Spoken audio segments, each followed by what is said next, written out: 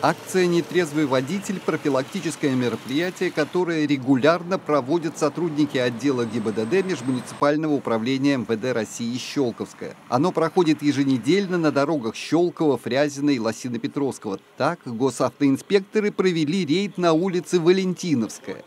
Основная цель сегодня у нас – это информирование значит, общественности, вот, чтобы каждый водитель знал, что на дорогу выезжать в нетрезвом состоянии нельзя категорически. Вот. Обусловлено это проведение нашего, данного, данного мероприятия с тем, что с начала данного года у нас уже зарегистрировано 11 дорожно-транспортных происшествий с участием нетрезвых водителей.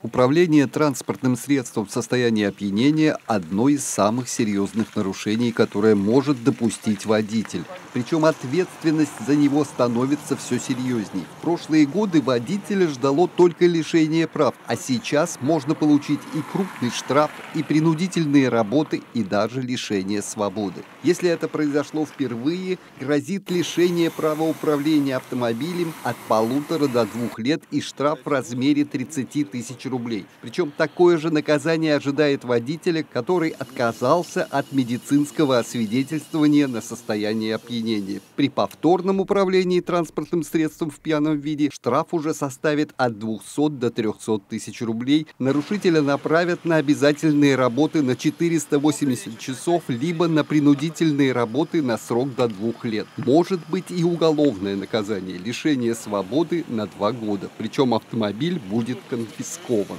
Сотрудники госавтоинспекции в своей борьбе с пьяными водителями рассчитывают на помощь других участников дорожного движения. Инспекторы в ходе проведения рейдов раздают листовки, в которых написано о недопустимости садиться за руль автомашины в нетрезвом виде. Чтобы этому препятствовать общими усилиями, необходимо о любых случаях неадекватного поведения участников дорожного движения немедленно сообщать в полицию. Андрей Цеханович, Александр Аржевский, Щелковское телевидение.